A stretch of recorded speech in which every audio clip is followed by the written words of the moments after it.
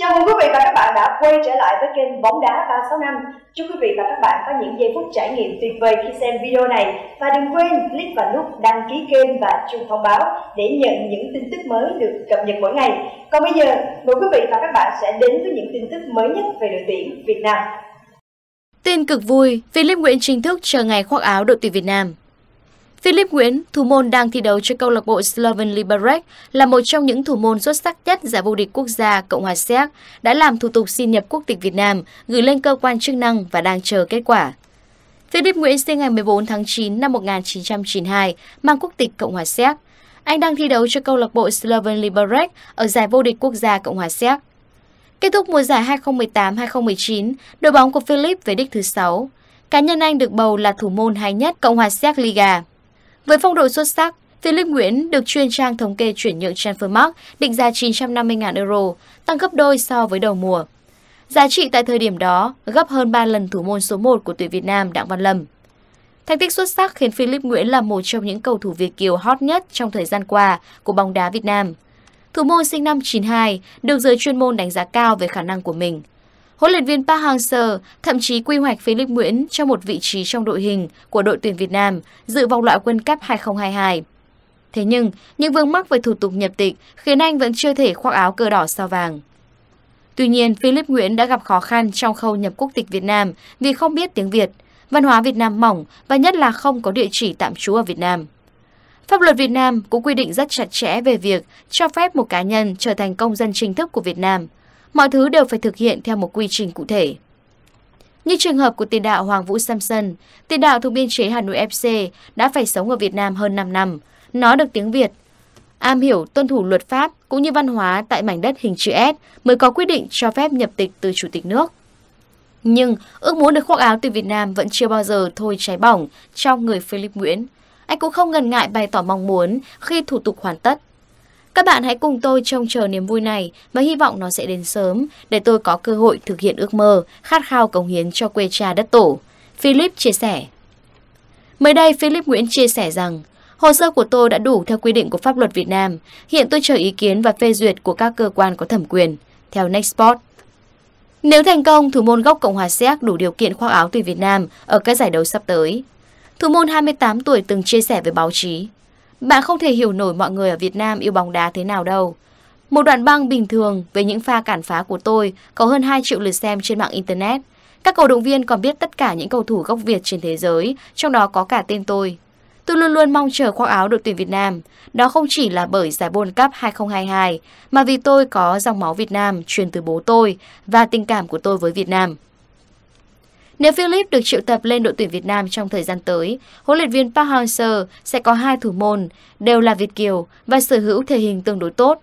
Khác hẳn với số đông thủ môn đang chơi tại V-League hiện nay.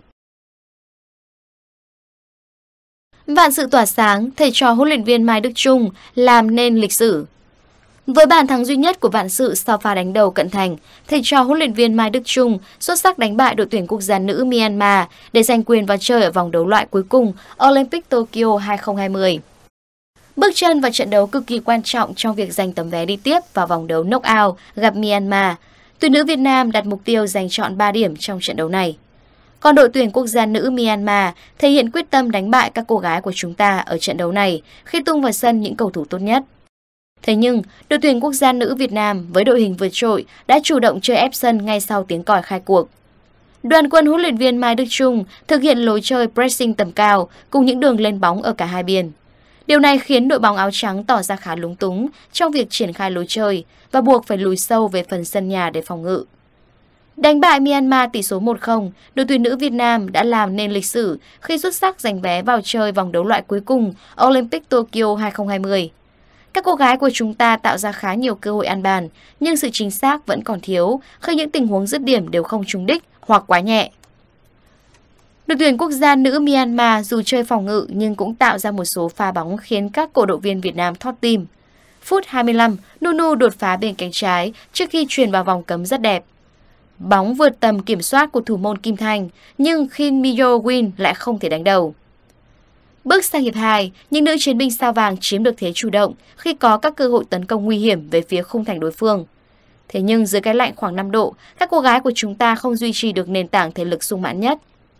Từ phút 70 trở đi, đội bóng áo trắng với nền tảng thể lực tốt hơn liên tục có được các tình huống tranh chấp, lên bóng nguy hiểm. Tuy nhiên, hàng phòng ngự của chúng ta thi đấu tập trung, hóa giải thành công. Phút 62, Bích Thùy có đường truyền thuận lợi để vạn sự đánh đầu tung lưới Myanmar, giúp Việt Nam khai thông thế bế tắc trong sự vỡ hòa của các cổ động viên Việt Nam có mặt trên sân. Có bàn thắng, huấn luyện viên Mai Đức Trung chỉ đạo học trò chơi chậm lại, kiểm soát bóng nhiều hơn để giữ sức. Còn đội bóng áo trắng buộc phải đẩy cao đội hình, tìm kiếm bàn gỡ. Thế nhưng trong những phút thi đấu còn lại của trận đấu, họ đã không làm cách nào có được bàn thắng gỡ hòa, đành chấp nhận kết quả thua cuộc với tỷ số 0-1 trước đội tuyển quốc gia nữ Việt Nam. Với thắng lợi này, thầy trò Mai Đức Trung xuất sắc giành tấm vé vào chơi ở vòng đấu loại cuối cùng Olympic Tokyo 2020. Huấn luyện viên Indonesia tôi nóng lòng đối đầu với đồng hương Park Hang-seo. Huấn luyện viên Shin Tae-yong cho biết bản thân háo hức, nóng lòng được đối đầu với đồng hương Park Hang-seo ở vòng loại World Cup. Sau khi sa thải Simon McManamy hồi năm ngoái, Liên đoàn bóng đá Indonesia PSSI đã ký hợp đồng với huấn luyện viên Shin Tae-yong, đồng hương của ông Park. Với những thành tích nổi bật mà một trong số đó là cùng đội tuyển Hàn Quốc tham dự World Cup 2018, ông Shin được kỳ vọng vực dậy bóng đá xứ vạn đảo. Tuy nhiên, công việc hiện tại cũng không mấy thuận lợi khi ông nhận nhiệm vụ dẫn dắt U19 Indonesia trong quá trình chuẩn bị vòng chung kết U19 châu Á 2020. Đội tuyển Indonesia đã hết cơ hội tại vòng loại thứ hai World Cup 2022 khu vực châu Á. Tuy nhiên, chúng tôi vẫn sẽ cố gắng hết mình để có những kết quả khả quan hơn. Ông chia sẻ với tờ Bola. Dù vậy, chiến lược gia 50 tuổi tràn đầy tự tin hướng tới cuộc đối đầu với đội tuyển Việt Nam tại vòng loại World Cup 2022 khu vực châu Á diễn ra ngày 4 tháng 6. Tôi đang hào hức nóng lòng muốn được đối đầu với người đồng hương Park Hang-seo của đội tuyển Việt Nam và huấn luyện viên Nishino của Thái Lan. Tôi muốn chứng minh cho người hâm mộ Indonesia biết sức mạnh thực sự của đội bóng. Những phương án mới trong lối chơi của tuyển Indonesia sẽ khiến Việt Nam và Thái Lan nếm trái đắng. Nhà cầm quân người Hàn lạc quan. Ở lượt đi, Việt Nam và Thái Lan đều giành những chiến thắng dễ dàng trước đội bóng của tôi. Trong các trận đấu sắp tới, chúng tôi sẽ có nhiều thay đổi. Đội tuyển Việt Nam đang dẫn đầu bảng G tại vòng loại thứ hai World Cup 2022 khu vực châu Á với 11 điểm, xếp trên các đối thủ Malaysia 9 điểm, Thái Lan 8 điểm, UAE 6 điểm, Indonesia 0 điểm. Trước mắt, thầy trò ông Park sẽ gặp Malaysia ngày 31 tháng 3 và sau đó có hai lượt trận diễn ra vào tháng 6, đối đầu Indonesia và UAE. Thông tin tiếp theo, vắng Trọng Hoàng Đình Trọng ảnh hưởng lớn đến tuyển Việt Nam. Ở trận đấu gặp Malaysia ngày 31 tháng 3 tới đây, thuộc khuôn khổ bảng G, vòng loại thứ hai World Cup 2022, tuyển Việt Nam sẽ không có sự phục vụ của Trọng Hoàng và Đình Trọng do án treo giò. Vậy sự thiếu vắng này có ảnh hưởng tới tuyển Việt Nam? Được biết, trận đấu gặp Malaysia trên sân khách tới đây có ý nghĩa quan trọng với tuyển Việt Nam. Bởi nếu giành chiến thắng, tuyển Việt Nam tiếp tục xây chắc ngôi đầu bảng G, mở ra cơ hội lớn để làm nên lịch sử, lần đầu tiên giành quyền vào vòng loại thứ ba.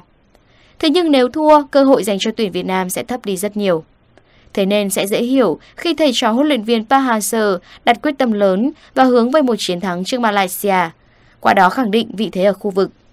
Những khó khăn và thách thức đang chờ đợi tuyển Việt Nam, nhất là khi chúng ta gặp tổn thất về lực lượng. Cụ thể, Trọng Hoàng bị treo giò do nhận hai thẻ vàng ở hai trận đấu khác nhau. Trận hòa không đều Thái Lan và thắng 1-0 Malaysia. Thì Đình Trọng bị treo giò do nhận thẻ đỏ trực tiếp trong trận đấu giữa U23 Việt Nam và U23 Triều Tiên tại vòng chung kết U23 châu Á 2020. Đây là tổn thất lớn với thầy trò huấn luyện viên Park Hang-seo bởi Trọng Hoàng và Đình Trọng là trụ cột của tuyển Việt Nam. Hai cầu thủ này đều khẳng định tầm quan trọng của mình ở đội tuyển. Sự có mặt của Đình Trọng giúp hàng phòng ngự tuyển Việt Nam trở nên chắc chắn hơn. Còn Trọng Hoàng chơi cực hay và dường như hậu vệ này không có đối thủ ở cánh phải. Với một đối thủ khó chịu như Malaysia thì việc thiếu vắng hai cầu thủ này ảnh hưởng lớn đến tuyển Việt Nam. Tuy nhiên chúng ta cũng không nên quá lo lắng về điều này. Bởi Malaysia mạnh nhất và hướng tấn công sở trường của đội bóng này là ở bên cánh phải, tức là cánh trái của Việt Nam. Khi đó thầy Park đã có văn hậu chấn giữ bên cánh này và có thể sẽ làm các chân sút Malaysia im hơi lặng tiếng ở bên cánh này như các trận đấu trước. Ở cánh phải, vị trí Trọng Hoàng rất có thể được thay thế bằng Vũ Văn Thành. Tuy có thể à, không cực hay như là Trọng Hoàng, nhưng cầu thủ này cũng có phong độ khá tốt tại V-League từ khi trở lại sau chấn thương. Riêng ở vị trí trung vệ, tuyển Việt Nam sở hữu nhiều cái tên chất lượng và huấn luyện viên Park có thể yên tâm khi bộ ba Tiến Dũng, Ngọc Hải, Duy Mạnh đang chơi ổn định và chắc chắn khi Đình Trọng vắng mặt. Quý vị và các bạn đã quan tâm theo dõi chương trình ngày hôm nay. Nếu thấy hay thì hãy like và share video. Và đừng quên click vào nút đăng ký kênh để nhận những video hấp dẫn được cập nhật mỗi ngày. Còn bây giờ, xin thân ái chào tạm biệt và hẹn gặp lại.